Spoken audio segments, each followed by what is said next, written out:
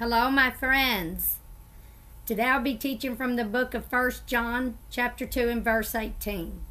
John says, Little children, it is the last time, and as you have heard that the Antichrist shall come, even now are many Antichrists, whereby we know that it is the last time. In the book of First John chapter 2 and verse 18, John is saying it is the last time. They believed it was the last days. Because it was. The end began as soon as the temple was destroyed because Jesus was telling his disciples what were the signs of the end and the signs of his return. So they knew it was the last times because they were in the end time. In the book of First Timothy chapter 4 and verse 1, Timothy tells us that the Spirit speaketh expressly that in the later times some shall depart from the faith, giving heed to seducing spirits and doctrines of devils. Second Thessalonians chapter 2 and verse 3 and 4 says, Let no man deceive you by any means, for that day shall not come. Do you hear what it said, church? That day shall not come except there come a falling away first, and that man of sin shall be revealed. Here we go, church. The Holy Spirit of God said America has fallen away from her God, removing prayer in the government, not allowing prayer in schools, not allowing our soldiers to pray in the name of Jesus Christ. That's right, church.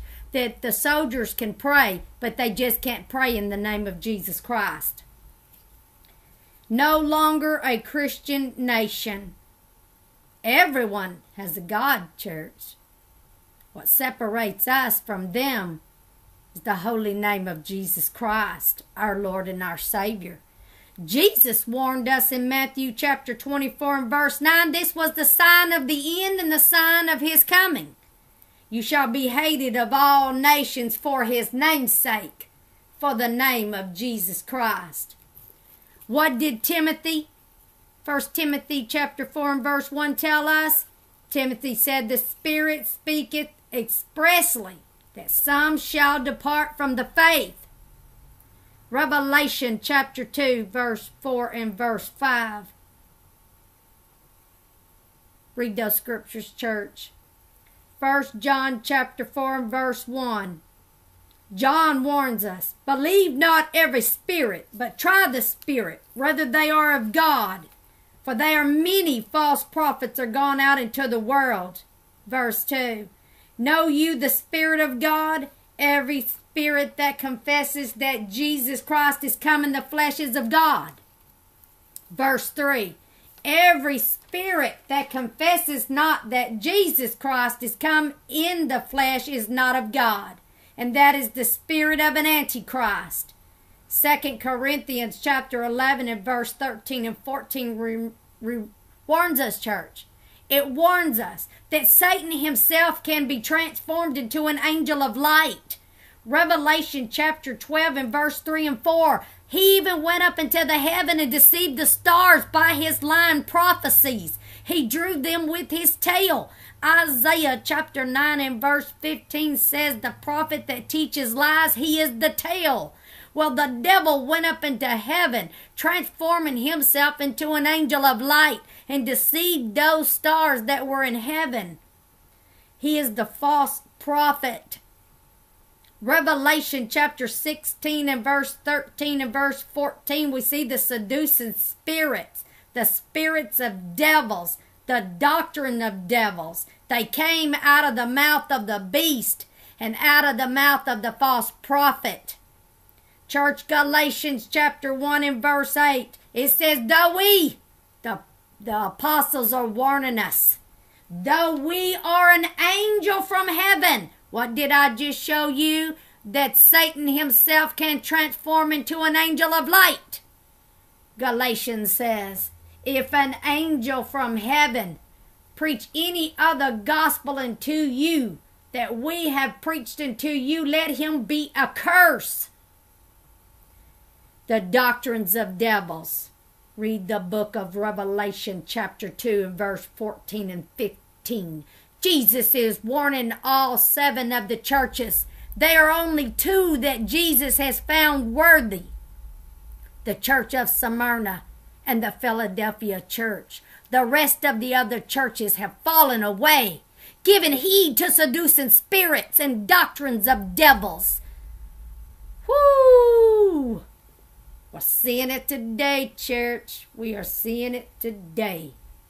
The book of Revelation, chapter 13, the churches of Satan. Revelation chapter 3 and verse 9. Revelation chapter 3 and verse 20, 21, and 22, we see the biggest of them all, the Jezebel church. Jesus warns her if she does not repent, he will cast her into the great tribulation. Church, we are indeed in the last days. The last days have be, began since the temple was destroyed in 70 AD after the death of Jesus Christ. We are in the last days. But remember, church, we all have a work to do. We must be ready at all times to share the gospel of our Lord and Savior Jesus Christ. Galatians chapter 6 and verse 9 says, Let us not be weary in well doing, for in due season we shall reap if we faint not. Church, we are indeed in the place to where we are weary. Even myself grow weary at times. And there are times that I feel like that I'm going to give up. But the Spirit of God is strong in this old girl, cause I'm not a looking back. We saw what happened to Lot's wife when she lingered long in the city. No, I'm a looking forward. I might not know the day and the hour that my Lord and my Savior will take his church or he will return, but I know my Lord and Savior is coming. And I know he's coming for a church, his body. Amen. But, church, we must do the work that God has given us to do. We must plant the seeds. We must win the lost. In the book of Galatians, chapter 8 and verse 8, what shall we reap, church, if we faint not?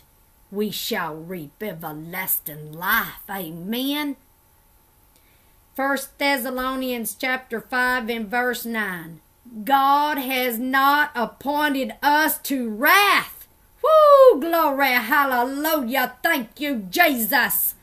But to obtain salvation by our Lord and Savior Jesus Christ.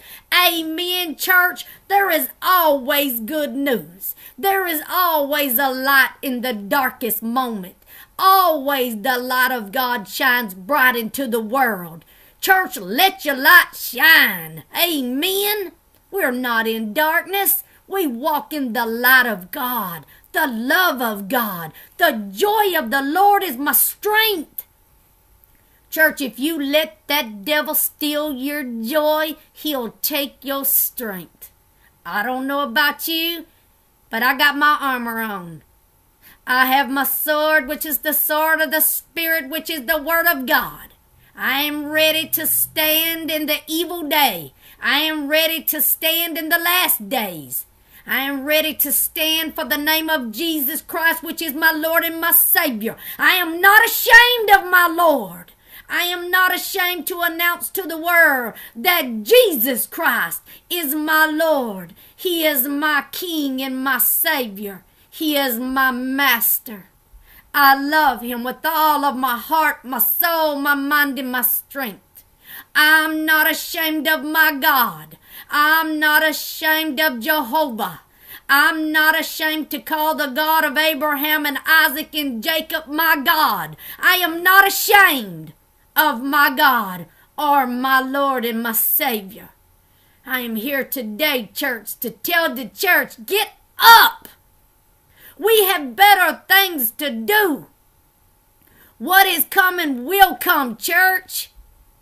But let's have the good news. Let's preach the good news. We have hope, church. We're not a church that is defeated. You all talk like you have been beaten down and you are defeated and you cannot get up. I'm here to tell you today, church, you better get up. Do you hear me? You better get up. Greater is he that is in you than he that is in the world. You're defeated. My goodness, church, get up and say to that devil, There is victory in the name of Jesus. There is a victory in the blood of Jesus because they overcame by the word of their testimony and by the blood of the Lamb. Woo! Glory, hallelujah. Woo! Thank you, Jesus. Thank you, Jesus. Hallelujah. Glory to God. Glory to his holy name. Amen, church. Glory to the holy name of God in the holy name of Jesus Christ, my Lord and my Savior. There is a victory. Victory in the name of Jesus. Victory today, church. Get up, church. Shake off. Shake off that spirit that's trying to weigh you down. Shake it off, church. Put on the garment of praise. Put on the garment of thanksgiving. Hallelujah. Glory to God. Father, we love you. We worship your holy name. We are a victorious church through our Lord and Savior Jesus Christ. Woo! Glory! Hallelujah! Glory to God. Amen, church. Amen. Now, how many of you are with me, church? How many of you are a victorious church? How many of you are overcomers? Amen. How many of you that know I can do all things through Christ Jesus, whom strengthens me? Glory to God. Hallelujah. God bless you, church. God bless each and every one of you. In Jesus Christ, most holy, holy name. Amen.